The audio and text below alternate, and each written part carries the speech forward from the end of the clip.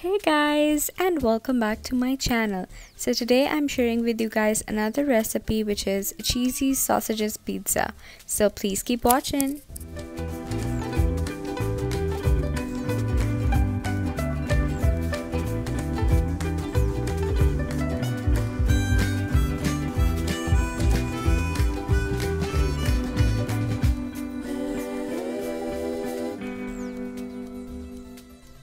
So first of all, in a large bowl, I'm gonna add 1 cup of flour and 1 4th teaspoon of salt.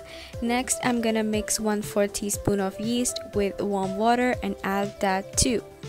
Now I'm gonna use milk as required, warm milk and knead the dough.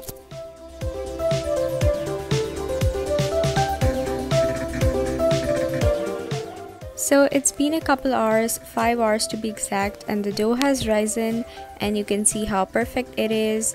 So we're gonna start preparing the toppings. So I'm gonna take 3 sausages and fry them. I'm gonna take half chopped onion and half chopped bell pepper and saute the veggies. So now you can see the sausages are done also the veggies are nice and soft so it's time to prepare the pizza. I'm gonna take the dough and roll it into the pizza shape and put it in the baking pan.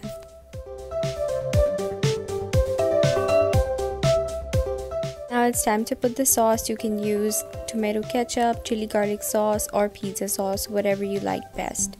And we're gonna spread it evenly on the pizza dough. Then it's time to put the toppings. So we're gonna put the sausages and the veggies and also sprinkle some coriander leaves for more color and flavor. And then next we're gonna chop some olives and put them too. Can also add in any other veggies or any other toppings that you like onto this pizza. Now, time for the best part the cheese. Now, you're gonna put in as much mozzarella cheese as you guys like, and then you're gonna sprinkle some oregano on top, and also, we're gonna put some red chili powder for more flavor. So, sprinkle that too. Lastly, we're also going to sprinkle some olive oil. This just enhances the flavor and makes it more yummy and then time to bake the pizza at 350 Celsius for 20 minutes. And your pizza is all done and it is looking so good. Time for dinner. So, yeah, I hope you guys enjoyed this recipe. Please don't forget to like, share, and subscribe. And I'll see you guys in my next video. Till then, enjoy the pizza. Bye bye.